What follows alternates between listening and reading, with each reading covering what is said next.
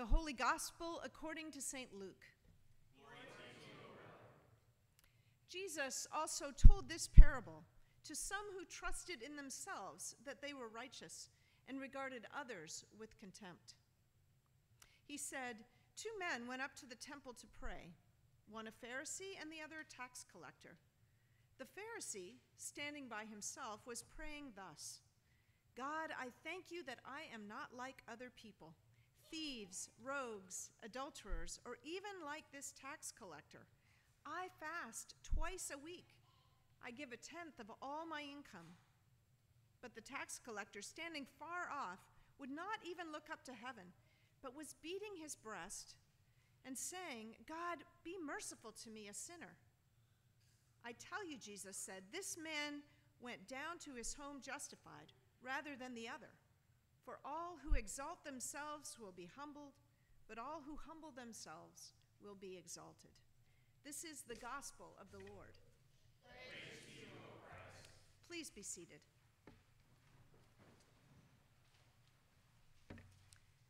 Good morning. Today I bring you greetings on behalf of the staff of the Office of the Bishop, our 120 congregations and worshiping communities, our three campus ministries and our TLU campus ministry, outdoor ministries, our university, upbring, and all of the Lutherans from around the country and the world. Together, we are a network of spirit empowered communities of discipled, disciples called and sent to live out the radically inclusive gospel of Jesus through the promises of baptism. I see Lee smiling over there because that is our vision statement for the Synod. And I want to thank you for your partnership in the gospel and for your generosity in sharing mission support with the Synod and the wider church. Together, we're able to develop and support leaders, to accompany and resource congregations, to experiment with and support new ministries, and coordinate synod wide justice work. We are so much stronger together than we could ever be apart. So thank you for your ministry, and I look forward to walking with you in this next part of your journey. And I trust that God is with you in the midst of all of this. Let's begin with prayer. Compassionate and loving God, thank you for the gifts of grace that you shower on us daily. Thank you for the gifts of your word and sacraments that guide us, fill us, Assure us of your presence in and among us. And thank you that we are not like those other Christians who are all around us. You know who I'm talking about, Lord. You know, the judgy ones, the ones who seek to exclude people, the ones who use their religion as a political weapon, that, the ones that don't follow Jesus like we do. Thank you, God, that you have formed us in the one true Christian faith ELCA Lutherans. May we never stray from your truth or your teachings. In the name of Jesus, amen. Now, we might chuckle a little at that, but I have to confess that sometimes I'm pretty judgy about those other kinds of Christians. How about you? Is there anyone here willing to fess up to being judgy sometimes as well? Yeah. Or maybe it's not a certain type of Christian that you're judgy about. Maybe we get judgy, for instance, about a certain political party whose views and values differ from our own. Or we hear what news station someone tunes into and we judge them instantly based on are you a Fox News or a CNBC listener? Or maybe it's a family member who we look down our nose at because they didn't make what we would consider to be good life choices, or at least not the choices we would have made in their situation. Sometimes we judge others unconsciously based on how we were raised or formed by those around us. Like when those of us who are white, for instance, clutch our purses a bit tighter when we walk past a person of color on the street. Maybe because that's what our mom did. And if you don't believe that we have any of these implicit biases, I invite you to Google Harvard Implicit Bias Test and take one or more of the assessments. It's pretty disturbing, frankly.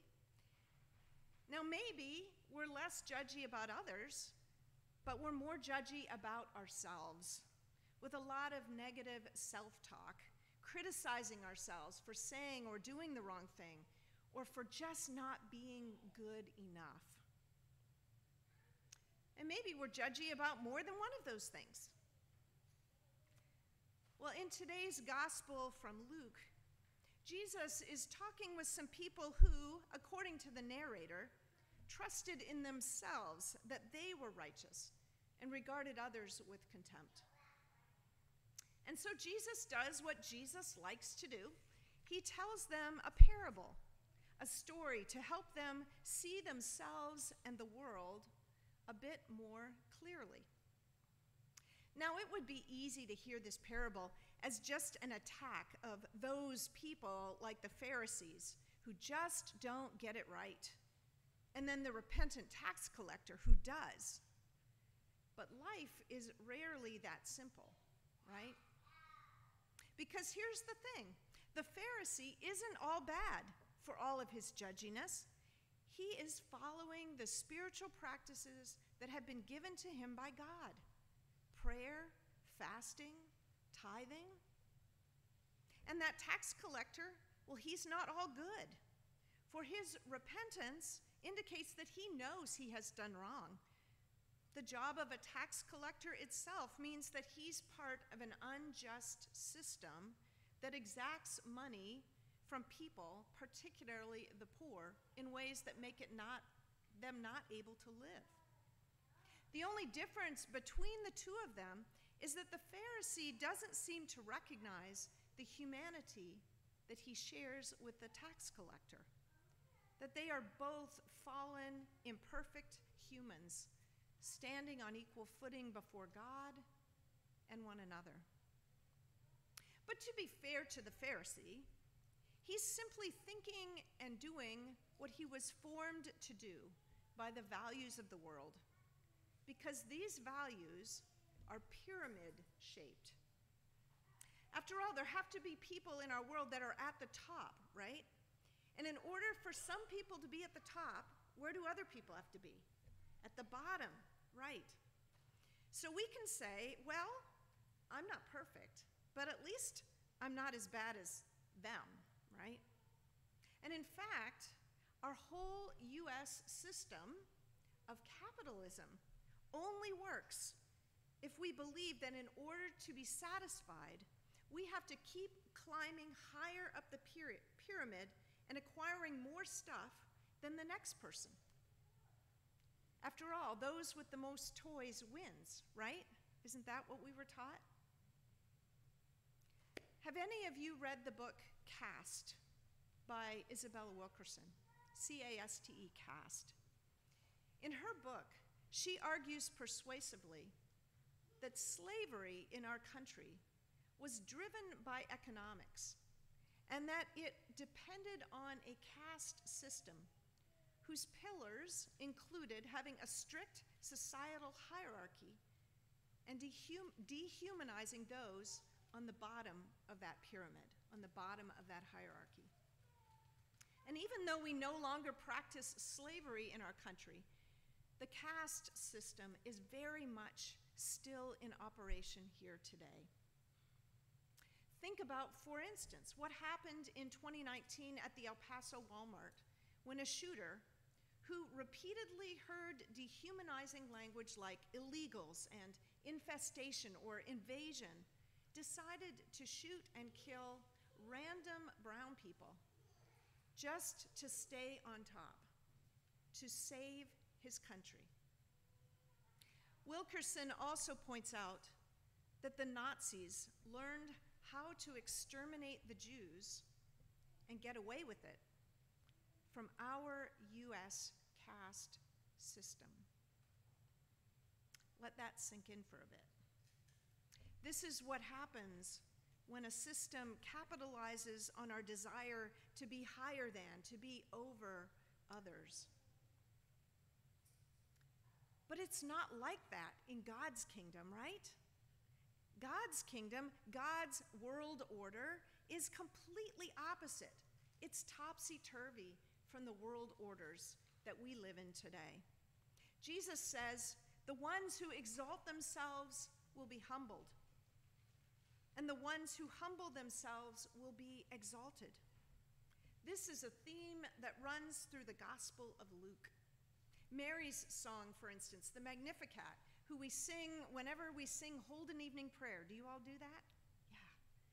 We sing about the lowly being lifted up and the mighty being cast down from their thrones. And Jesus tells the disciples if you want to be great, welcome the least of these. And his parables focus on the extravagance of God that makes no sense economically. Leave 99 sheep to find one? Find a lost coin and then spend it all on a party? Give your ungrateful son his inheritance early and then welcome him back and throw him a party once he's blown it all?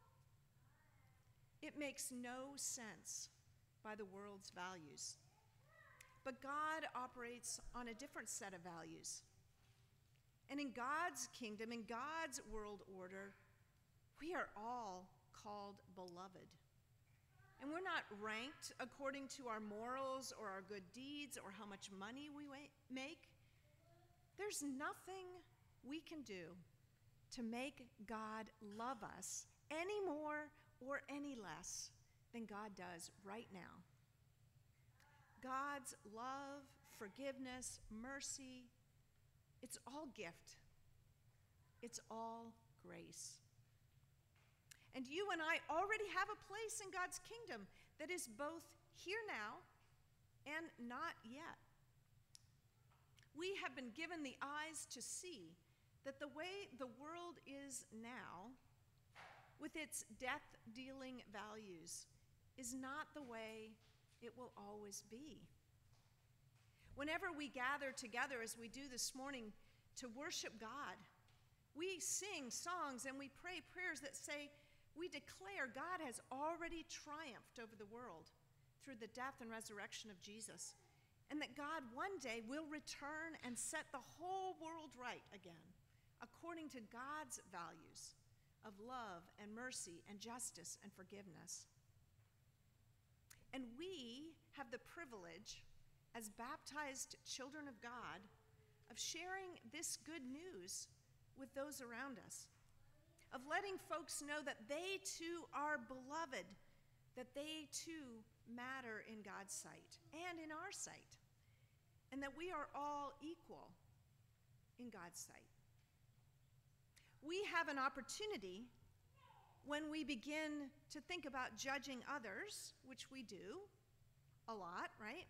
To do instead what that amazing theologian Ted Lasso, have you ever heard of him? Right? Whatever he what he does instead is he gets curious about the other person, right? Or even about himself and why he's responding that way. That's an opportunity that we have as well when our little judgeometer, right, starts kicking in we have an opportunity to look at the person in front of us and see our shared humanity and divinity and to build bridges rather than to erect walls. And we also have the opportunity and the privilege to be instruments of God's saving power and grace when, for instance, we learn more about the caste systems operating in our country. What are some examples of that? Think of our legal system, for instance, where money can buy you out of just about anything. Or our prison system, where black and brown people are incarcerated at much higher rates than white people. Or simply the fact that whiteness by default, is the norm, the pinnacle that one aspires to because of all the privileges that come with it, whether we're rich or poor. Once we see how harmful some of our systems and structures are, we can begin to work with one another through God to become allies and even co conspirators in the fight. Knowing that it is God's desire and indeed God's promise that one day God will finish the work God already began in Jesus and will set the world right again. We are just invited, called to do our part for the time that we're here on earth. Will we get it right always? Absolutely not. Our habits and practices are deeply ingrained in us, as are the systems and structures of oppression in this country. It's why we come back here each week to confess that we have fallen short and to receive once again the gifts of God's mercy, grace, and forgiveness, to be strengthened to go back out again to proclaim the radically inclusive gospel of Jesus in word and deed to a hurting world. Thanks be to God. Amen.